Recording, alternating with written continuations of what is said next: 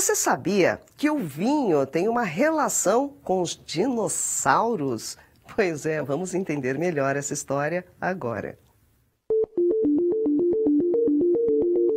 Qual a ligação entre dinossauros e o vinho que nós tomamos? Bom, você pode ter pensado que nenhuma, mas sim, existe uma relação.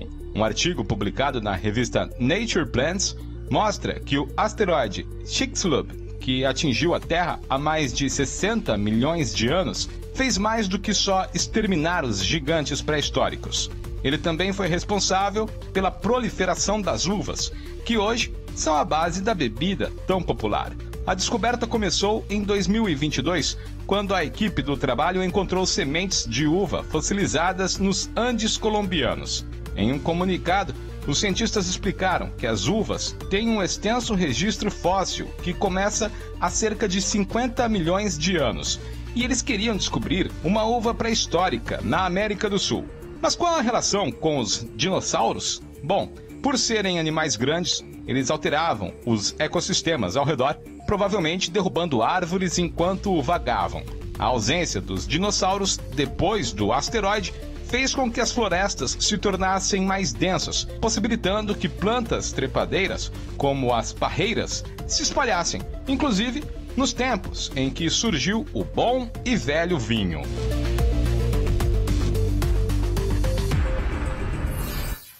Será que estamos diante de uma nova era na medição do tempo? Bom, os relógios atômicos ópticos são uma inovação que promete aumentar a precisão em mil vezes e transformar, inclusive, a exploração espacial. Vamos entender melhor essa história agora.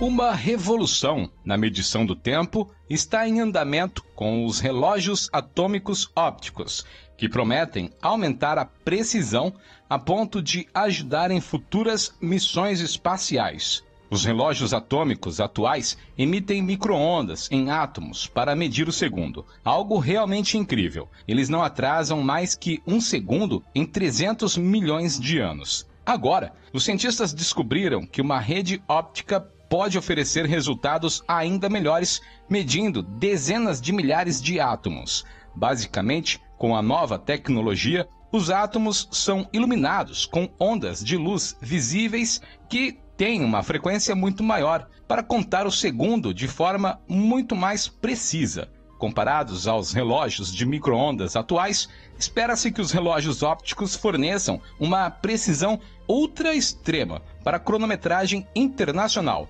algo como perda de um segundo somente a cada 30 bilhões de anos. A precisão dos relógios atômicos já está presente no GPS. Com o potencial dos relógios ópticos, os cientistas estão empolgados com a possibilidade de estudos mais detalhados, por exemplo, da teoria da relatividade, verificando suposições atuais com maior precisão. Vamos entender.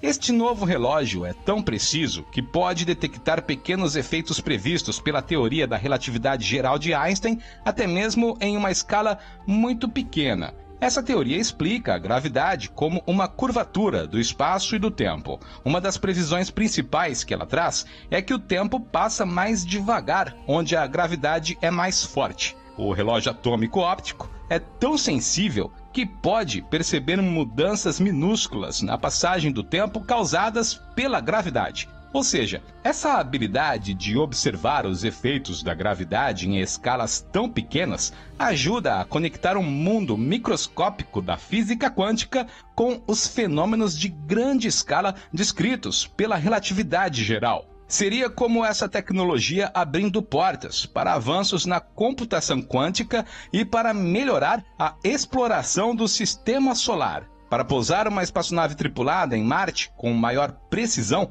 algo tão almejado pela comunidade astronômica atualmente, precisaremos de medições infalíveis. Os novos relógios atômicos ópticos são um grande passo nessa direção.